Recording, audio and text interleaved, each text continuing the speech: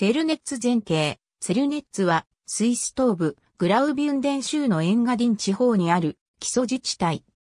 フリューエラ峠、アルブラ峠、オフェン峠の間に位置するため、歴史的にスイス、イタリア、オーストリアを結ぶ交通の要衝としての役割を果たしてきた。1872年の大火の後、町は再建された。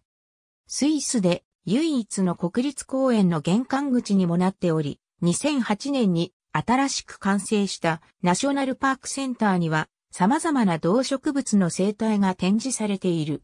チェルネッツの村を歩くと他のエンガリン地方の町同様、スグラフィートで飾られた下壁が目につく。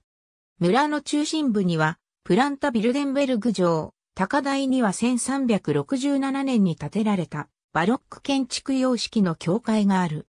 チェルネッツにはスイス、グラウビュンデン州を中心に路線を持つレーティッシュ鉄道が通ると同時にポストバスがスイス国立公園やダボスなど各方面との間を結んでいる。